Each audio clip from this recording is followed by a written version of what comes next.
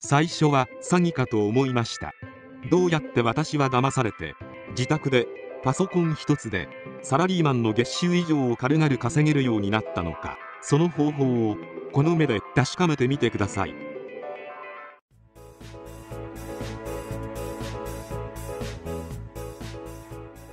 メッシ選手に禁錮1年10ヶ月休憩架空会社で5億円脱税の疑い。スペインの裁判所は8日サッカーのスペイン1部リーグ。バルセロナに所属するアルゼンチン代表のスーパースター。リオネル・メッシ選手とチチホルエ。氏が脱税の罪に問われ禁錮1年10ヶ月を求刑されたことを明らかにした。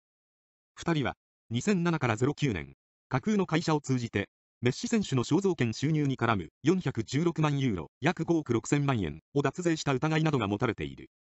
検察当局は当初脱税はホルエ氏が主導しメッシ選手は関与していないとしてホルエ市に禁錮1年6ヶ月と罰金を求刑する方針だった。